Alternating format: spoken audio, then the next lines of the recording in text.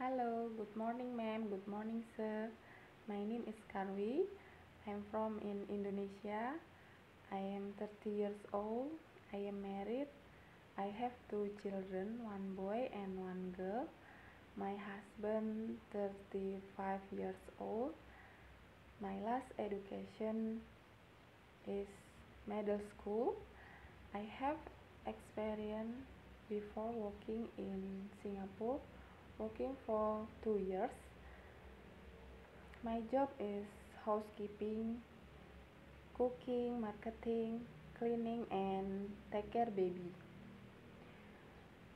Uh, for for example, I can cook Chinese food like the steamed fish, uh, cook porridge, uh, fried rice, cook soup, and fried vegetable okay thank you